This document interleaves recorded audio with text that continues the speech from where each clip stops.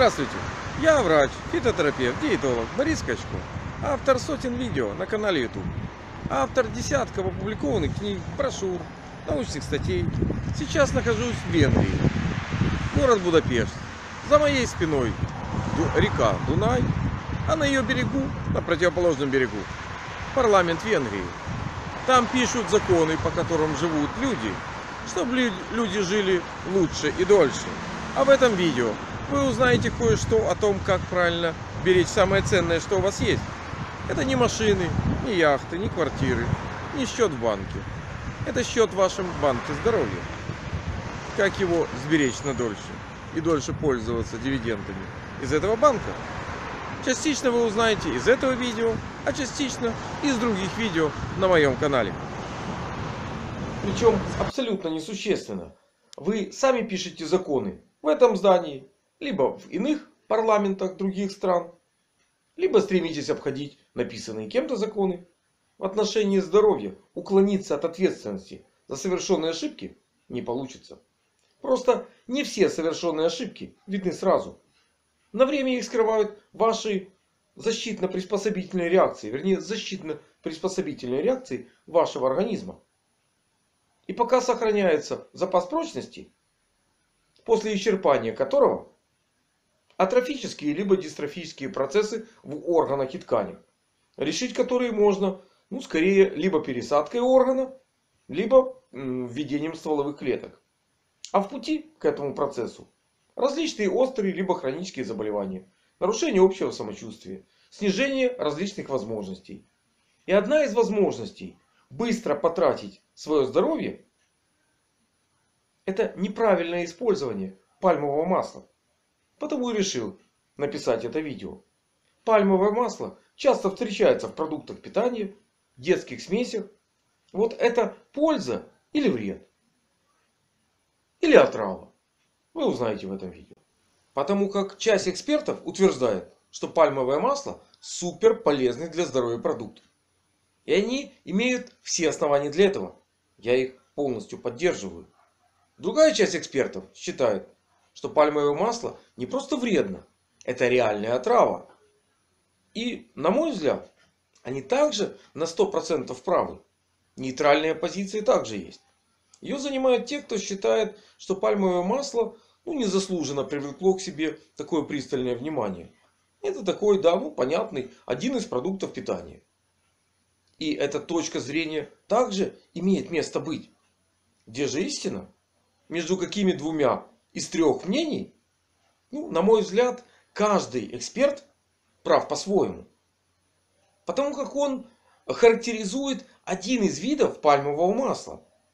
Если вы хотите знать больше, ну, чтобы понимать, какое пальмовое масло у вас и что делать в каждом конкретном случае, смотрите это видео до конца. И вы узнаете, какие полезные свойства скрыты в пальмовом масле, какие опасные сюрпризы может преподнести вам пальмовое масло, ну и как разобраться, какое пальмовое масло перед вами. Смотрите видео дальше. Какие же основные сюрпризы может преподнести вам пальмовое масло? Ну, сюрприз первый. Он на 100% зависит от происхождения пальмового масла. Нужно понимать, откуда же оно появляется. А чаще всего оно появляется из двух основных источников. Из мякоти плодов или из косточек масличной пальмы. Из мякоти плодов обычно методом холодного прессования получается одно пальмовое масло. А из косточек после их дробления, они достаточно плотные, появляется другое пальмовое масло. И отличить, если вы держите эти два вида пальмового масла в руках, они перед вами, их может легко и просто отличить даже не просто все люди, а даже часть дальтоников. Потому как полезное масло имеет одну окраску, а достаточно вредное иную. Отличает их одно, вернее два свойства. В одном из них есть каротиноиды и токоферолы, а в другом нет. Вот обычно масло из мякоти плодов содержит их. И это большой плюс этого масла. А масло из косточек не содержит. И это огромный его минус. Ну, о полезных свойствах каротиноидов, токоферолов. Потому как уникальные токоферолы реально есть в масле пальмы и имеют огромное значение для вашего здоровья. Об этом я расскажу немножко позже. А сейчас о еще одном очень важном показателе, который вы также в домашних условиях можете определить, если у вас несколько видов пальмового масла. Об этом прямо сейчас. Очень важный показатель любого масла, в том числе и пальмового, точка плавления. Вот об эту точку сломано уже немало копий в интернете. Ориентируясь на нее, многие, кто-то говорит, что масло супер вредно, кто-то говорит, что масло полезно. Я вам объясню, что подразумевается под этим, чтобы вы понимали. А фактически точку плавления определяет состав жирных кислот, которые в этом году синтезировали вот те самые пальмы. А синтезируют они, не, это не машины. Зависит от погодных условий. От освещенности, температуры, осадков. Много переменных влияют на синтез жирных кислот в масле. И фактически точка плавления у пальмового масла из-за этого она скользящая. В этом нет ничего хорошего, ничего плохого. Она находится в диапазоне от 33 до 39 градусов. Немножко высоковато. Я понимаю, предельных жирных кислот, то есть насыщенных жиров в пальмовом масле много. Но это понимаю не только я, но и химики-технологи. И они задолго до того, как я написал это видео, придумали, как пальмовое масло все-таки улучшить. Если максимально сконцентрировать ненасыщенные жирные кислоты, максимально возможно. Почему невозможно все сконцентрировать, я скажу чуть позже. Но если сконцентрировать максимально все ненасыщенные жирные кислоты, то появляется так называемый пальмовый супералиин. И точка плавления резко снижается в диапазон 12-16 градусов. Это тоже не мед, но это очень здорово. Если очистить не до конца, если не все сконцентрировать, что можно, появляется пальмовый олеин. И он будет плавиться при температуре 19-24 градуса. Тоже неплохо. Для организма тоже хорошо. Ну, понятно, остается вторая часть морализонского балета. Э, предельные жирные кислоты тоже должны куда-то деться. Их тоже можно использовать. И появляется ну, э, пальмовый стеарин, но я бы назвал его пальмовый пальмитин. Потому как на предельные жирные кислоты, которые есть в пальмовом масле, 90% из них это все-таки пальмитиновая кислота. А 10% стеариновая. И вот этот пальмовый стеарин, ну назвали как назвали, вот, плавится при температуре очень высокой, от 47 до 54 градусов. И глядя вот на эту точку, все кричат, гвалт, караул, плохо. Да, понятно. Ну как использовать правильно такое масло, тоже будет дальше в этом видео. Если же взять красное пальмовое масло, то оно начинает плавиться при, при нагревании до 16 градусов. То есть тоже достаточно неплохо. Хотя могло бы быть, конечно же, и лучше. Все-таки непредельных жирных кислот там много, но предельных тоже многовато. Многое просто зависит, вот точка плавления, уже об этом говорил, зависит от количества насыщенных жирных кислот в масле. И от состава их в триолеине. Что такое триолеин? Это глицерин и три остатка жирных кислот. Вот глицерин это стабильный компонент любого масла. Неважно это масло растительное, либо это жир животного происхождения. А вот э, состав вот этих трех жирных кислот фактически определяет пользу или вред масла. Ну, пальмовое масло содержит примерно ну, около 45, от, вернее от 40, если взять пальмовый суперолеин, до почти 80% пальмитиновой кислоты. И многие говорят, что это вредно. Хотя, как вам сказать, если взять материнское молоко, которое полезно большинству людей и крайне вредно только ограниченной части людей, то впервые с пальмитиновой кислотой каждый человек встретился, употребляя материнское молоко. И я не скажу, что это плохо для большинства. Нужно просто этим правильно пользоваться. Вот как правильно пользоваться, я об этом расскажу чуть позже. Третий сюрприз пальмового масла это насыщенные жирные кислоты. Их примерно 50% в пальмовом масле, около 46% в красном пальмовом масле. И это не самый лучший показатель этого масла. В основном, конечно, это пальмитиновая кислота. Ее, соответственно, 44 и 37%. И стеариновая. Около 5%. Температура плавления вот та самая неприятная, на которую все упирают.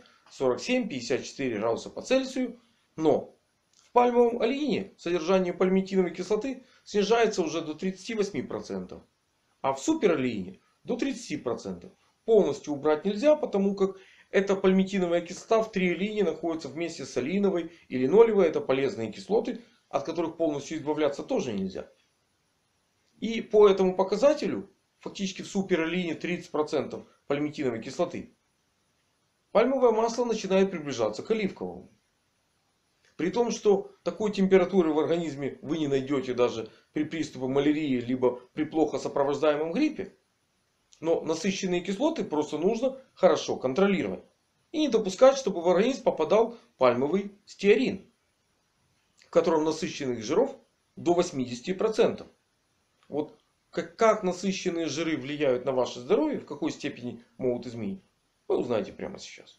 А насыщенные жирные кислоты, попадая в организм, перенапрягают работу печени по удалению окисленного холестерина из организма. Что требует, обязательно требует коррекции рациона. Нужно учитывать пальмовое масло не в составе растительных масел, а в составе скорее животных жиров. А также не приносят новые порции витаминов, чем истощают антиоксидантный потенциал. В результате чего повышается уровень опасного холестерина в крови. И могут служить причиной развития как минимум атеросклероза сосудов. Как максимум еще и онкологию можно привязать к этому, потому как печени без разницы, что удалять из кровеносного русла, окисленный холестерин либо канцерогены. И несмотря на то, что собственно холестерин даже в самом плохом пальмовом масле, пальмовом стерине отсутствует, атеросклероз может развиваться. Именно потому насыщенные жиры любого происхождения, в том числе и полученные путем гидрогенизации растительных масел трансжиры, в рационе стремятся ограничивать. И это правильно. Пальмовое масло в 5 раз больше, чем подсолнечное. И в 3-4 раза больше, чем кукурузное либо оливковое. Содержит именно насыщенных жиров. И по содержанию приближается к жирам животного происхождения. Которые в продуктах питания пальмовым маслом как раз чаще всего и заменяют из-за их физико-химических свойств похожих. Делая продукт дешевле в производстве, но не самым простым для вашего здоровья. А какое значение это имеет глобально для вашего здоровья, вы узнаете прямо сейчас. И когда часть экспертов утверждает, что пальмовое масло супер вредно, говорят именно о дешевом пальмовом стеарине. Из части которого стеариновые свечки делают из стеариновой кислоты. А также используют в производстве мыла, топлива, машинного масла. Но не все так печально. Пальмовое масло содержит и уникальные полезные компоненты. О том, что в нем содержится и как это правильно использовать, вы об этом узнаете прямо сейчас. Какие же полезные свойства заложены в пальмовом масле? Ну, примерно 50% или вторая часть пальмового масла это уже ненасыщенные жирные кислоты. О которых говорят, что это супер полезно. И это правильно, это здорово. Полиненасыщенная жирная кислота линолевая. В обычном и красном пальмовом масле ее содержание 10-13%. И мононенасыщенное олеиновое ее больше 39-40%. Эти жирные кислоты обладают значительной антиоксидантной активностью. И это одна из причин полезности растительных масел и пальмового в том числе. Если же немножко усовершенствовать, улучшить и сделать пальмовый олеин, то содержание алииновой кислоты может подняться до 44%, а в супералиине до 50%. Линолевая кислота в этом случае повышается то, также немного до 13 и даже до 15%. И это очень важно, это очень хорошо и здорово, что они там есть. И благодаря им пальмовое масло все-таки используется и в э, лечебных целях может использоваться, и в пищевой промышленности. Но это не единственный показатель, который интересен пальмовым маслом. Очень важный компонент пальмового масла, который позволяет закрыть глаза на многие другие его недостатки, это каротиноиды или провитамины группы А. Это одна из фишек, я бы сказал, пальмового масла. По содержанию которых, так называемому ретинол эквиваленту, пальмовое масло, я бы сказал, не просто чемпион мира. Это чемпион вселенной. Оно активнее рыбьего жира в полтора раза. Рыбьего жира много не съешь, там еще витамин D есть. И тут есть свой ограничитель. больше, чем в печени, содержится в два раза. Ну, есть традиционный ориентир, такой индикатор, морковка. Так вот, в пальмовом масле витамина А в 15 раз больше, чем в морковке. Ну, по другим продуктам питания отрыв еще больше, это 40-50 раз и более. Ну, что такое витамин А? Напомню основные его свойства. Это не только хорошее зрение в молодости и профилактика катаракты в зрелости. Это активная профилактика онкологических, кардиологических заболеваний, инфекций, вирусных, бактериальных. Профилактика обмена дистрофических заболеваний суставов, таких как артроз, остеохондроз позвоночника. Профилактика желчи и мочекаменной болезни. То есть спектр действия широчайший. Правда, накопление витамина А зависит от работы печени. Да, в питании витамина А может поступать разными порциями. Но если вы передозировали, хорошая работа печени избыток заберет, а при недостатке выдаст его вновь в кровь. Если вы более-менее регулярно используете разные источники витамина А, все прекрасно. Я за вас спокоен, за ваше здоровье я в нем уверен. Но пальмовое масло имеет еще одну фишку, кроме витамина А, о которой я расскажу прямо сейчас. Уникальную фишку, которую, как говорится, в другом месте не взять. Очень сложно собрать из других источников, когда все это есть в одном пальмовом масле.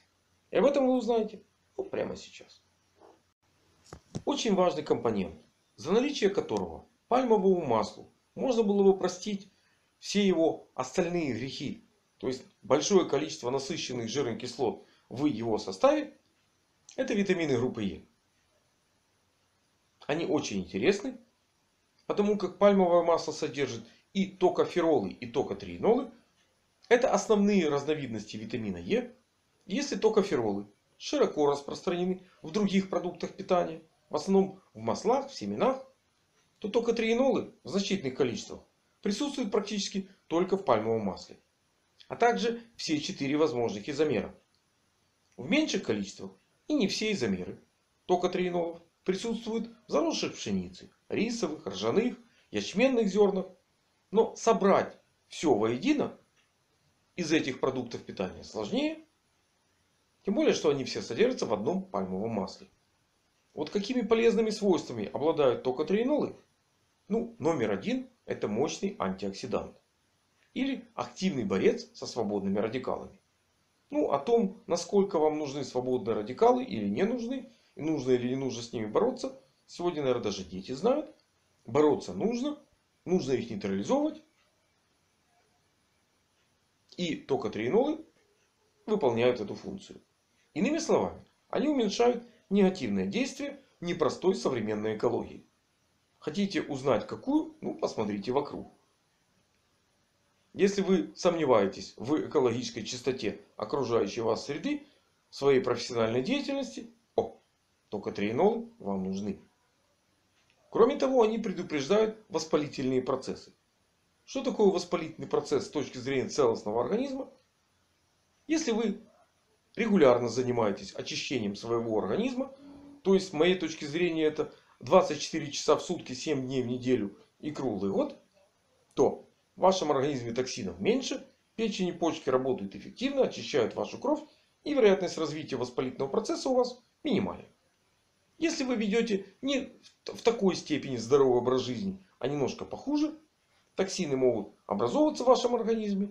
И если вы их не удаляете своевременно, добираются до клеток и вызывают там воспалительные процессы.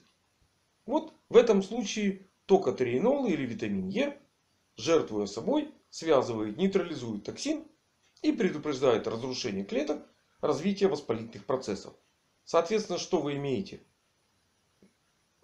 В данном случае старение как организма в целом, так и старение отдельных органов и систем немножечко откладывается. Что позволяет несколько улучшить качество жизни, ну и продлить активную ее составляющую. При этом сравнивали активность альфа-токотриенола и активность альфа-токоферола. Вот она отличается в 40-60 раз на разных моделях, но с плюсом в пользу токотриенола. То есть он более активен в этом процессе.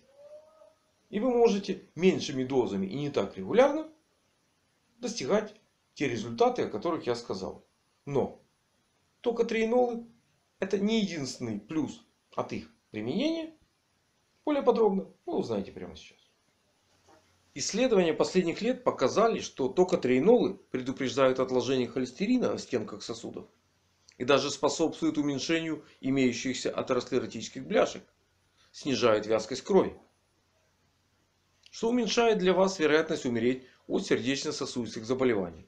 А это причина смерти номер один в развитых странах. Стимулирует токотриенолы и клеточный апоптоз. То есть способствует гибели онкоклеток и более эффективной борьбе со злокачественными опухолями. А это причина смерти номер два в развитых странах. Воздействие витамина Е на активность половой системы на таком фоне. Ну, это просто мелочь. Но, однако, эта мелочь не мелочь. Потому как существенно улучшает качество жизни. А для многих супружеских пар устраняет и некоторые формы бесплодия. И когда утверждают, что пальмовое масло супер полезно, говорят именно о дорогом пальмовом олеине, либо о красном пальмовом масле. А вот как же разобраться, какое пальмовое масло перед вами, вы узнаете прямо сейчас. Как же в домашних условиях разобраться, какое пальмовое масло перед вами или в продукте питания? Ну, вычислить витамины А и Е несложно. Они обладают характерной оранжево-красной окраской. Если у вас два вида масла и на обоих написано пальмовое, то по цвету даже большинство дальтоников может определить оно с витаминами или без. Но если это масло, а не продукт питания, например печенье, конфеты или вафли, в которых цвет часто не является определяющим и может зависеть от совершенно иных ингредиентов. Вычислить содержание жирных кислот в масле также легко. Для этого вам нужно совершить более сложное действие. Я бы сказал даже энергозатратное. То есть масло нужно вначале заморозить. Перевести его в такое полутвердое состояние. А потом при медленном размораживании, нагревании вам нужно определить одно. Когда масло стало вновь жидким. И от температуры, при которой это произошло, зависит фактически наличие непредельных жирных кислот в масле, то есть его польза. Но в продукте питания самостоятельно у вас вряд ли получится вычислить так легко и просто качество масла. У вас в, под названием пальмовое масло в продукте питания олеин, суперолеин, стеарин, их смесь, красное пальмовое масло. Вряд ли это все получится. Об этом должен заявить производитель. Ну, если его к этому обязует закон. Или если он понимает, что э, вы, как потребитель его продукции, ему нужны и важны, тогда он будет скорее использовать более дорогой пальмовый олеин или супер олеин или красное пальмовое масло. То есть ему в этом случае не то что медаль, орден на грудь положен и не один. Потому как он думает о том, как улучшить качество вашей жизни. И стремится существенно продлить жизнь потребителям своей продукции. А косвенно, конечно, он улучшает и поддерживает свой бизнес вы понимая, что вы потребляете э, более качественный продукт питания, более здоровый, вы естественно будете такие продукты выбирать. Но это я нарисовал идеальную ситуацию. А она может быть иной. И об этом вы узнаете прямо сейчас. Несколько хуже, если в продукте питания пальмовое масло. В этом случае важно учитывать и другие факторы вашего образа жизни, рациона питания.